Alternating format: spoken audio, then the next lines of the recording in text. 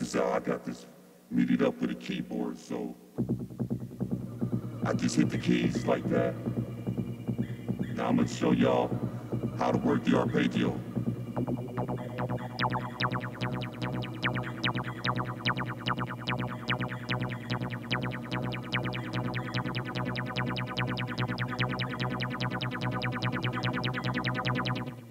Now let me take off that, uh, uh, take off the synthesizer and just play it regular.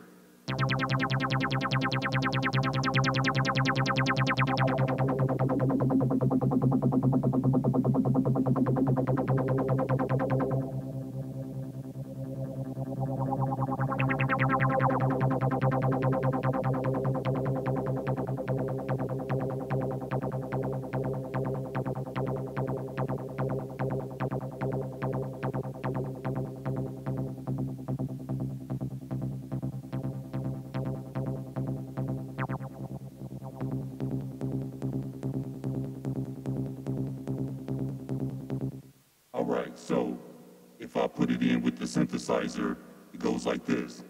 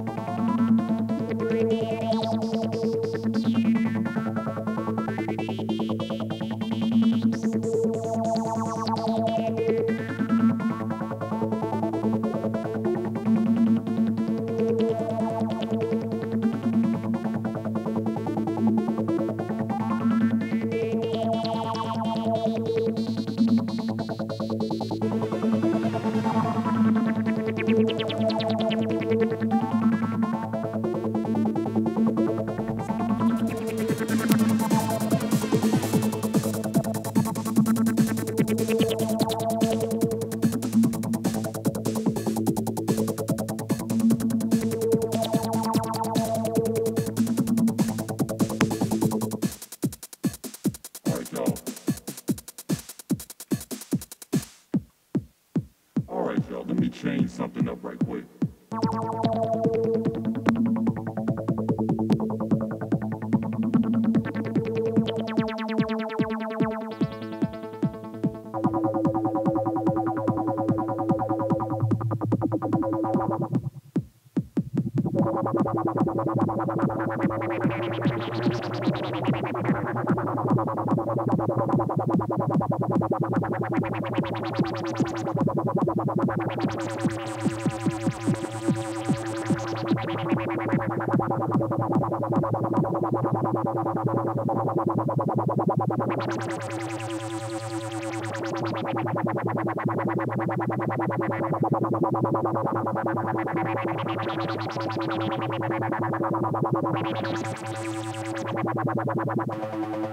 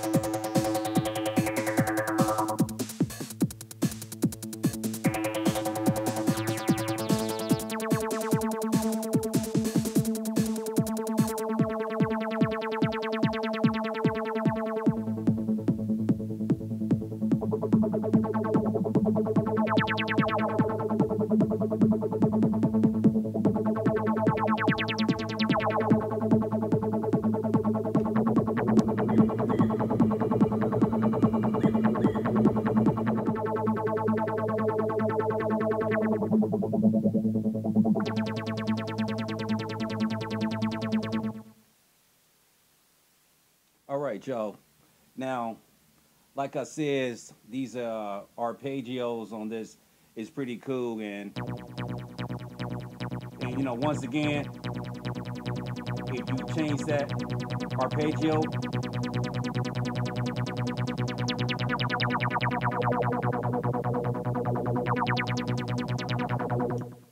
you can do all kinds of stuff. Like, you know what? I'm gonna show y'all something right quick before I go. Um, first of all, you have to go to that. Um, you got to hit Shift, then you got to hit. It says Style or Arpeggio. Then it takes you over to like a screen. Like you know, I can even change it to one eighth.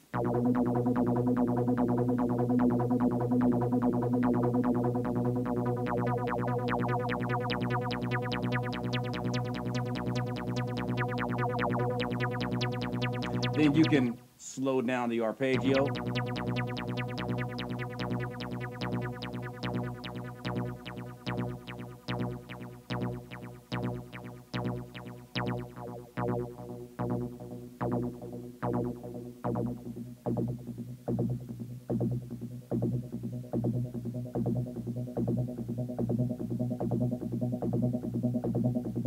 All right, you know what I'm saying, y'all?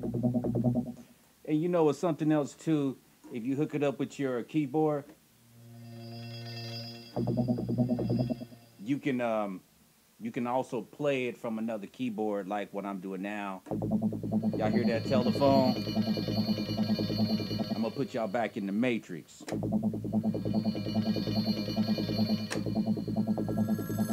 All right, time to pick up the phone. You know what I'm saying? But anyway that's just what you can do with it. So even though this is old school, you know, came out a long time ago. I think it came out around 1996. One of the good things about it, to me, is that it's so much that you can do with it. You know what I'm saying? And I really tend to think that you really could use this into uh, modern day music. It's it's on you. You know what I'm saying? But anyway, y'all.